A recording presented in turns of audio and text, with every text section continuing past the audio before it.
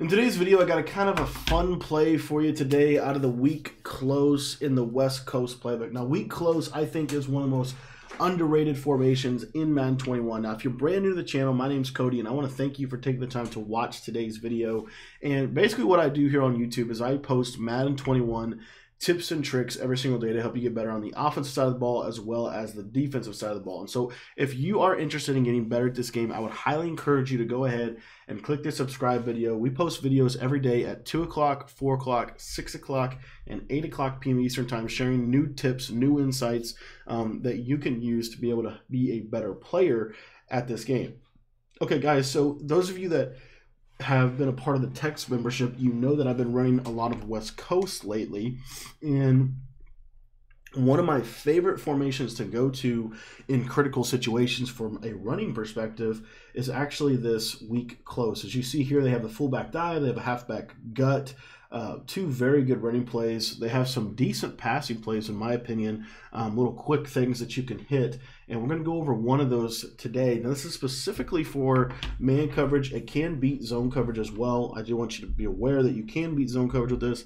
But I really like this. I really like this route against like one step ahead corners. I'm getting a lot of questions saying that basically what people are doing is they're going to come out, they're going to run man coverage, they're going to blitz the crib at you, and you've got to adjust and you've got to make something happen. This play is really, really good against one step ahead corners. Um, so basically, what you're going to do here, it's called PA post shot.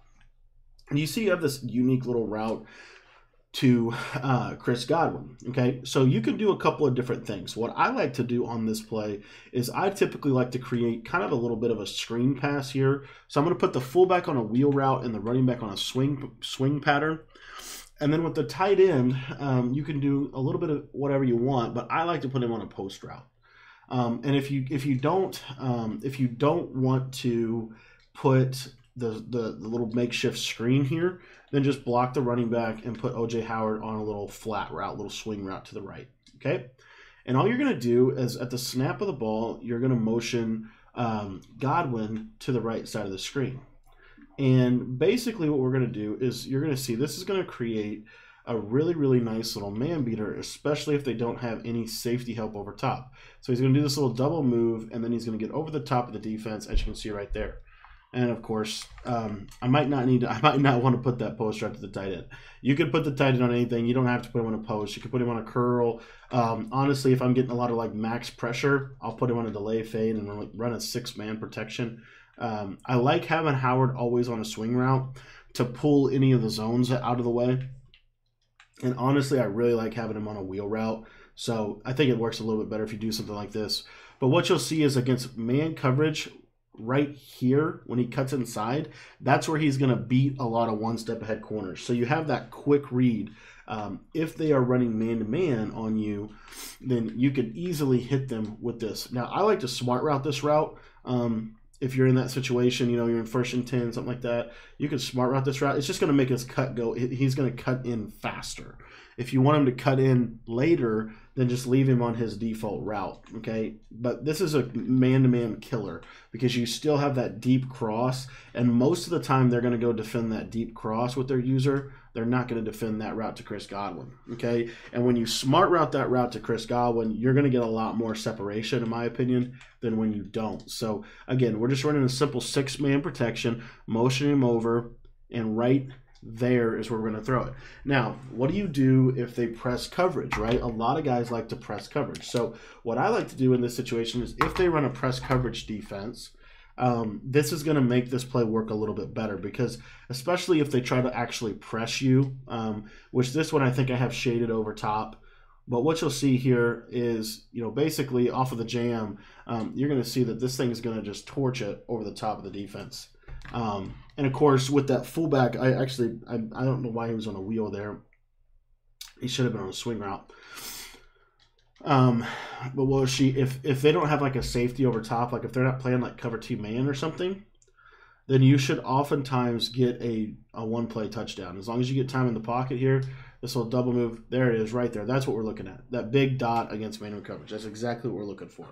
So that little quick play right there um, and again, you know, because you're running such a good protection, you've got a seven man protection on basically. you know, and it's basically just a shot play.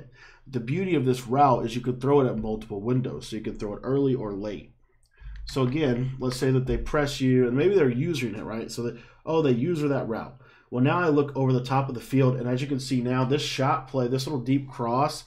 What I love about this deep cross is it gets over 20. I have my my curl flat zone drops set to 20 yards, and this deep cross gets over those uh, zone drops. We'll show you what I'm talking about. There was a simple cover one defense, and you saw how deep. See how deep he gets and he is still going to get that separation against man-to-man coverage. That's what I like about it. Is that route still is going to get really nice separation against man-to-man coverage. So you have your quick reads over here, but basically you'll see he's going to get over the top. So I just lob it over the top, click on, and I have a good chance, uh, a good chance of hitting it on the sideline.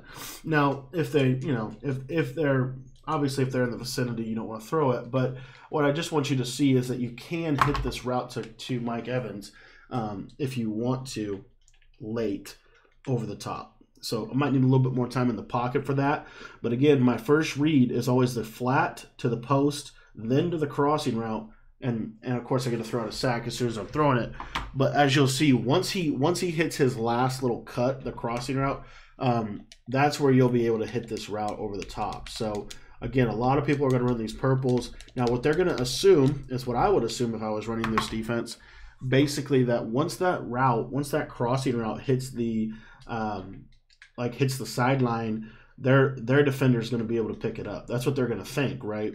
But the reality is no. So you're reading your reads. They're going to go to that other guy. But look at that right here. Passing this up right in that last cut, and you see that's an absolute laser. That's a 20 of that's a 25 yard 20 yard curl flat. So that's one of the beauties of this offense is it gets over the zone drop. So like let's say that they're running let's say that they're running some type of Mabel, you know, cover three, uh, kind of America's defense at this point, but where they're basically running um, Mabel coverage. Let me get that set up for you. So they're running Mabel coverage on both sides. Well, the beauty of this play is you can still hit this route to Godwin in zone. So when he does that little post, like that little double move to the inside, you can throw that like a post route. So like what that's my always always my read. If they're not using Chris Godwin, I'm gonna throw that right there every single time. I'm gonna throw that right there against the zone coverage. If they're not using him, that's where I'm gonna go. Most of the time they won't. Most of the time they're gonna use user Mike Evans because they're not gonna be expect. I'm telling you right now, they're not gonna be expecting um, Chris Godwin to really uh, make a big fuss for them. Really, they're really going to be expecting you know that crossing route to be the big thing that they have to go manually guard themselves. So again, they've got Mabel coverage. Now let's say they just ran like a hard flat on the side, but they didn't. You know, in my opinion, probably better coverage for them you know, if they didn't do that. So if you get something like that, once again, the swing route is going to pull all of the flat zones out of the middle of the field. So you're going to be able to hit that post route to Godwin. Um, and then if, let's say they user that, so then, okay, well, they've used that route. So now if I go back into my read, you see this is uh, cover three invert. And I got a pretty good chance of hitting that route over the top of that cover three invert. The deep halves, most people will deep half to the um, the the back side of the cover three. So something like this right here this is a very common coverage. Um, this is a very, very, very common coverage for somebody to run, right? And then, and then basically, maybe they take this guy. You know, for the sake of the video, we're just going to put him here and give them uh, give them a Mabel coverage. You know, basically because it would probably be flipped. Um, you know, in a real game. But this is kind of the look that you would get. And again, this is Mabel coverage. These are the they're they're backing the purples off. They're kind of doing everything they know how to do uh, to stop this. And you're going to see that this deep, deep crossing route, um, pass lead it up into the outside, click on, and as long as they don't have Jaire Alexander, it's going to be wide open, especially if you run this with a little bit. I'm in the middle of the hash here. If I'm on the left hash, you'll see it's even more effective because I'm going to the wide side of the field. So let me show you what I'm talking about right here. And of course, like cover two, like this play kills cover two, like absolutely kills cover two. And we'll show you that in just a second. But I just want you to see um, I just want you to see like how good of a job this does. Um, again, if they, and again, you can leave this hook curl right here. It doesn't really matter. Um, you're still going to be effective. So, again, if they don't go user Godwin, then I can throw him. If they do go user Godwin, then Mike Evans is going to be wide open. So, wash him over. Do they use him? Okay, they go over there. So now look right here. hard right pass. They click on, and you're over the top of zone drops. That's what's beautiful about this play. Now, if you want to get my full far tight slot scheme that goes directly with this scheme, um, all you got to do is text me for it. My number is 812-216-3644. That'll allow you to join our text message membership. In our text message membership, we release every single week a full scheme breakdown. So the far tight slot is two hours long of material on how to actually run it as a full scheme. We've released schemes on the gun bunch, the gun U trips from New England, the A slot offset, the split close, the big nickel over G defense. So if you're looking to get some of those schemes, you get all of those schemes once you text me. Uh, again, my number is 812 216 3644. Now let's talk about cover two real quickly. So, um, cover two, something that you will see, uh, especially a lot of people like to run cover two against these little light compressed sets because they think it does a really, really good job. I'm here to tell you it doesn't, at least against this. So if they run cover two, you'll see that this crossing route, and of course I didn't, I don't, I don't know how a three man uh, rush gets in against a seven man protection, but in practice mode it totally does.